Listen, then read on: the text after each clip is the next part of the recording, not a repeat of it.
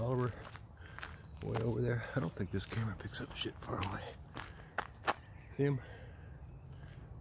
I.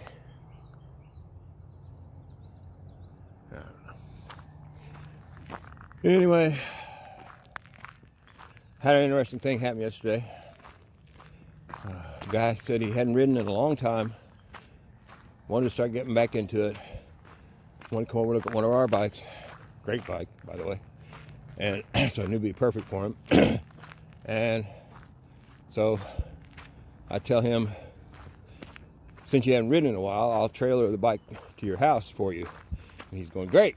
So I had no thinking that he would actually want to ride. He would just see us ride it or hear it run and be happy and buy it and we'd trailer it to his house. So he's there, he comes to the house, sits on it. Yeah, this is great. So I reach over and start it. And he's going, yeah, well, let's see how it goes. Kicks it in gear and takes off. I'm like, what? Oh shit. I did not expect that, but I thought, well, you must feel pretty confident.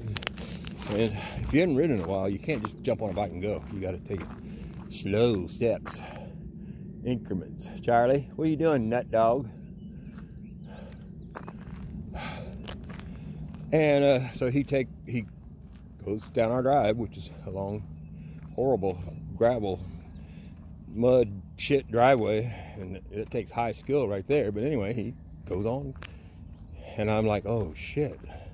And then I realize, oh crap, I didn't turn the gas gas on because so he's going to run out somewhere.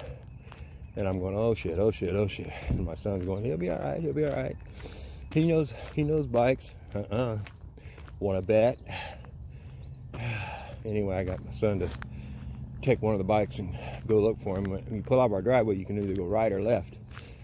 We didn't know which way he went, so of course we went right. He went right. My son did, and then he didn't see nothing.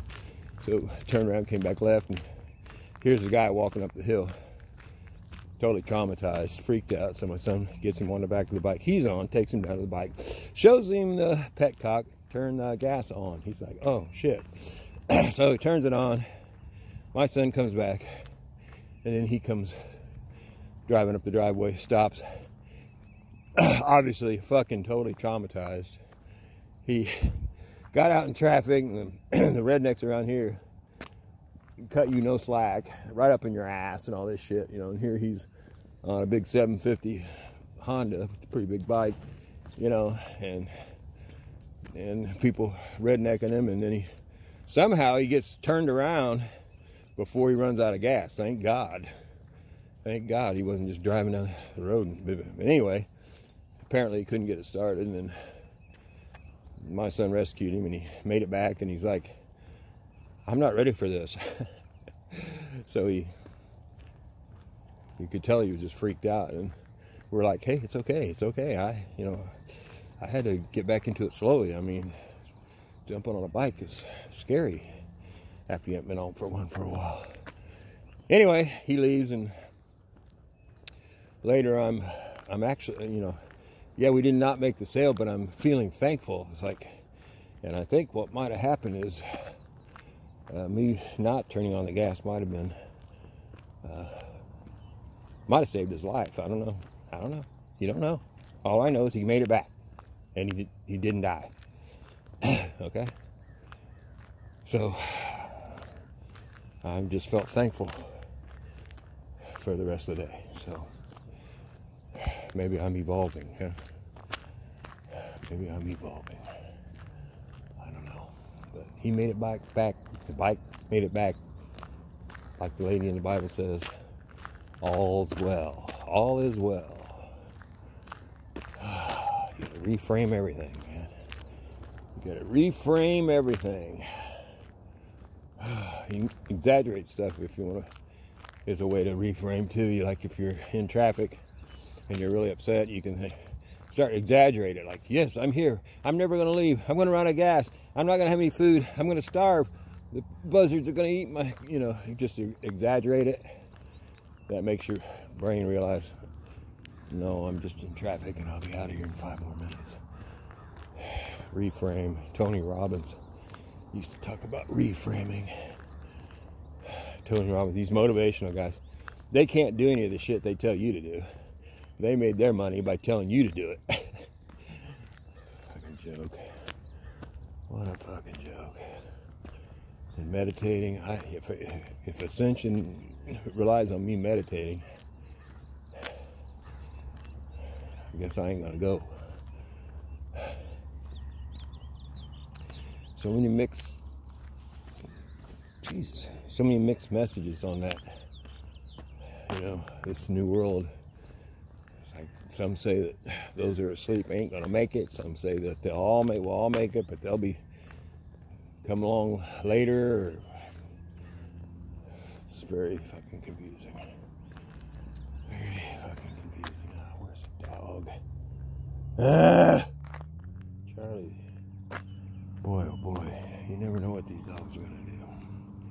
He took off in a completely different direction this morning before we even got to this part of the trail.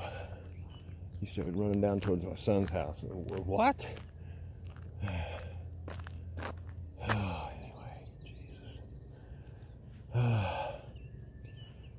So, a lot of people think it's the Charlie, down here, buddy, down here. I don't know how good his far side is.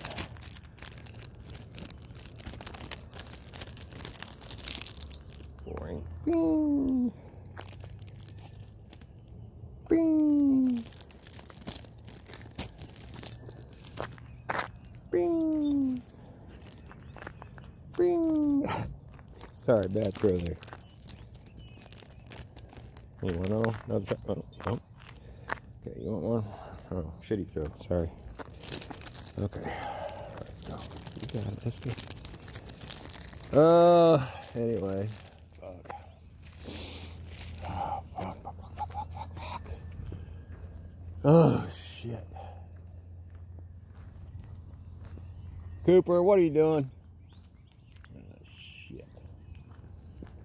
Anyway, that- You don't know what's going on over there, boy. They're attracted to that area, though. Cooper, what are you doing? Here he comes. Something, something is in there. I don't know what it is, but something's in there.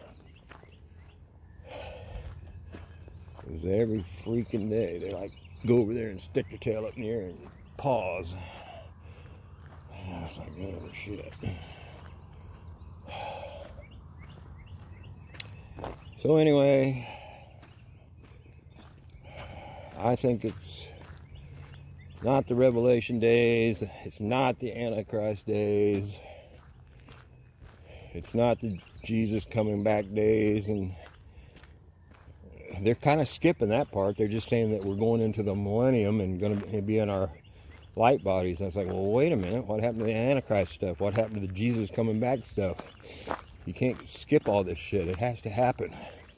And, and there's another war. It has to happen in Israel against complete uh, Muslim countries only. There's another uh, Israel war at the end. I know Gog and Magog and all that against Russia and shit like that. But there's another war supposed to happen in Israel where they're outnumbered and they win against Muslim countries. And that hadn't happened either. So I think we're in what's called the kingdom age, which is the on earth as it is in heaven, where Christians take over the planet and we all get healed and we all get young and we all take over the place. And and that lasts for about 213 more years according to the Jewish calendar. And then oh, sorry. And then Jesus comes back. Then the seven years where this Antichrist pops up starts. And then we're gone. Then the seven years happens, then we come back, and then the millennium starts. So I think we got about 213 years of Christians taking over the planet in a utopic world. However, right now, it don't look too good. So all I can say is keep breathing, I guess.